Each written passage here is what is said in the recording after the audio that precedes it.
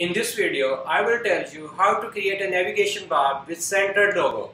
I will use Elementor Pro with no other third-party plugin. And also there is a bonus tip for you in this video. So watch this video completely to follow all the steps. Assalamu alaikum and hi guys. Welcome to my channel. My name is Adnan Ahmed a self-taught web developer from Pakistan. If this is the first time you are visiting my channel, please subscribe my channel and click the bell icon so you get the notification whenever I upload a video in the future. Okay, let's start building the navigation menu. Okay, this is the sample uh, website where I'm going to default menu by the template to the one uh, where the logo will be in the center and there are two uh, menus one on the right and one on the left hand side of the logo. For this I need to create uh, two menus. Uh, so I'm going to menu section. Here you can see the default menu. I am leaving it behind. I'm going to create a new one. I will call it maybe header menu left. Then click on the create menu uh, once it is it is created I am going to place some uh, uh, page links in it. Uh, maybe home about and maybe the services page. And click on the add menu save it. Okay next uh, I am going to create another and call it header menu right. Click on the create menu and then add the pages uh, like before projects blog and contact. Click add to menu. These will be added and then click on the save menu.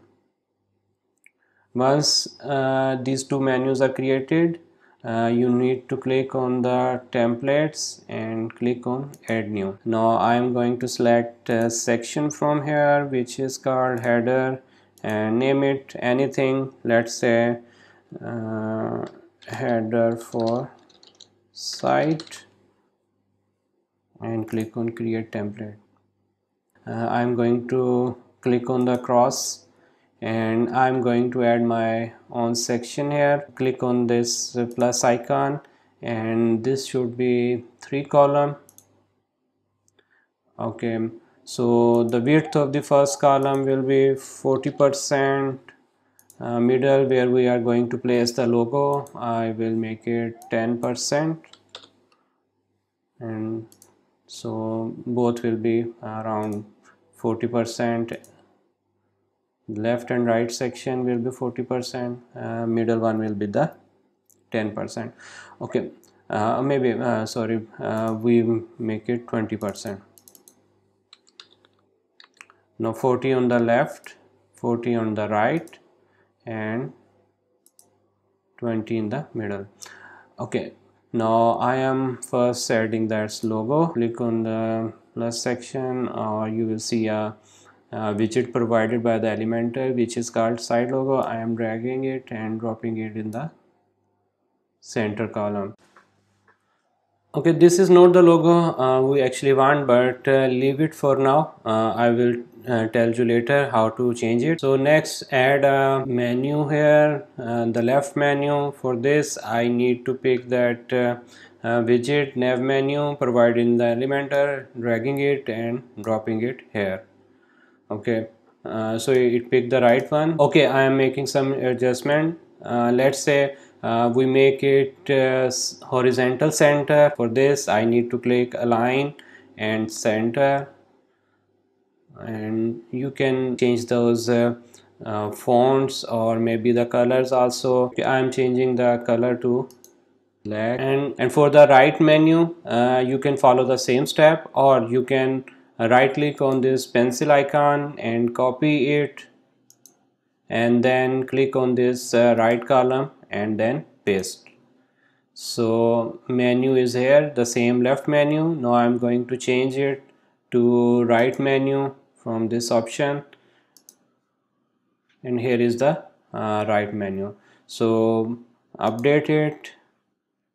And now the preview that uh, header here. And to see uh, how it is looking on the page uh, you need to go that uh, home page maybe. Okay you are here now. Now I'm going to change this logo for this. I need to go customize. Then I need to click on that uh, header menu.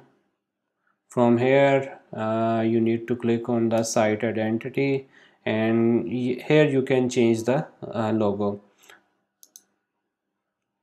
Okay I have the one uh, which was already showing. I'm selecting it again. Skip cropping. And likewise I am changing this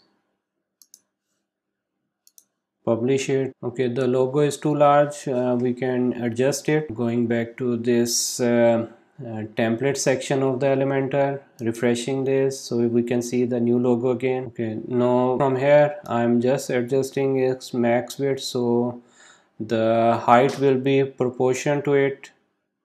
I think this looks good. If you want to make it a bit larger maybe the 14 max width will be fine okay now you can see uh, those uh, menus are top aligned we can change them. Uh, I'm clicking on this uh, edit section button and then I am clicking on this option vertical align and make it middle. So everything will be middle line. Uh, updating it. And then go to the home page again and you can see uh, how it is looking so this is uh, the navigation bar uh, with the logo in the center. Now you can see what happened if we uh, resize the browser window to see how it will look on the uh, mobile devices. Okay now you see uh, both of those uh, two menus are converted to the toggle button which shows for the mobile menu. It is not very good. Uh, we have to make it one menu uh, containing all the menu sections. So here is the bonus tip uh, how we can do it. Uh, I am showing uh, the way uh, which worked for me and maybe there is some other way but I think this is the best way which I figure out. So for this what I have to do I have to go back to the Elementor template section. Okay. Uh, now I am going to do I am duplicating this uh, uh, menu section which we already created. Okay. Now uh, what I am going to do I am deleting one of the menu which may be the left one and uh, change this uh, uh, right menu or uh, before that what we can do we make it we can make it again 20 percent and this one is 80 percent now. Okay the menu uh, we need to change. Uh, we are going to use that default menu which we already saw. Now it is containing all those items Mm, we can uh, align it uh, maybe the right align we can use. Okay here it is. Now what we are going to do uh, for desktop uh, we are hiding this menu for this. You need to click, click on this section uh, which is the uh, second menu section and then clicking on the advanced and go into the responsive option here you can hide it for the desktop okay? Now what will happen? This menu will not show on the desktop but on the tablet and mobile uh, this menu will show. And for the previous menu uh, which is for the desktop what we need to do click on this section and go into advanced and then responsive option and just make it uh, visible on the desktop and hide on the tablet and hide on the mobile and update it. Now we are going to refresh this page. You are not seeing that uh, full menu with the logo on the left but when we are going to resize it now you see uh, you have that toggle button on the right hand side. Uh, we can make some adjustment like we can adjust it. This toggle button should go on the very right of the navigation bar. We can change it. And for this I'm just going to template section again. I am clicking now we can't click it. So what we need to do right click on that uh, edit section and you will see the navigator option here. Here you can see uh, what we have uh, on this template.